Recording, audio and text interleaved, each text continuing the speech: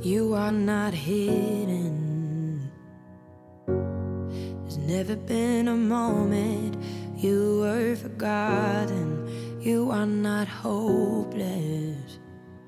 Though you have been broken, your innocence stolen.